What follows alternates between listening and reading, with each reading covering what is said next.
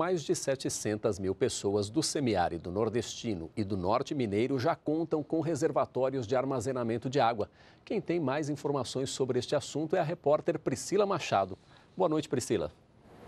Boa noite, Carandina. A Companhia de Desenvolvimento dos Vales do São Francisco e do Parnaíba, a Codevasp, já instalou mais de 170 mil é, reservatórios de água, que é captada da chuva. Sobre esse assunto, eu converso com o Elton Silva Cruz, da Codevasp.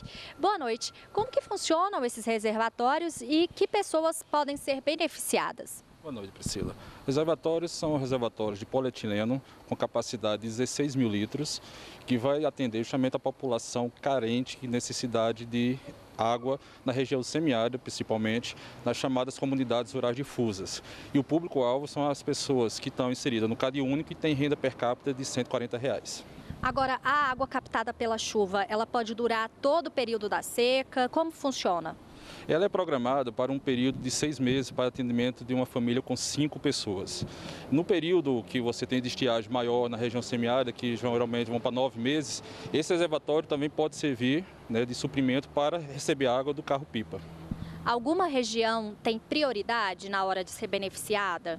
A região, como eu já falei, a prioritária é a região semiárida, mas também estamos é, estendendo para as outras demais regiões também com necessidade onde não tenha o acesso à água. Agora, essa ação, ela está dentro de um programa maior, que é o programa Água para Todos, é isso? Perfeito. O Água para Todos ele foi lançado em 2011, então temos aí três anos e meio né, do programa que foi em julho de 2011 e ela está contemplando as cisternas para abastecimento humano, sistemas simplificados e os barreiros, pequenos barreiros, que vêm alencar não só a primeira água, mas também a segunda água, a água de produção.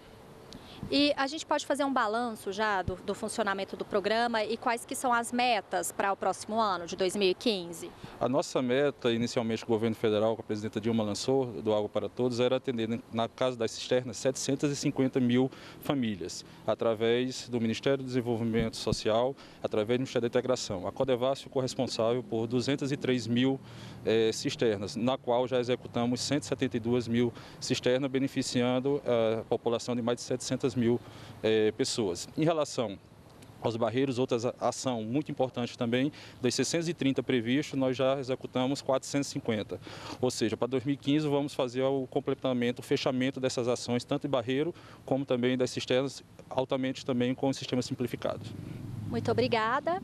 Cada cisterna pode acumular até 16 mil litros de água. A quantidade, como já foi dito, suficiente para abastecer uma família de até cinco pessoas por um período de seis meses. Carandina. Obrigado, Priscila Machado, pelas informações.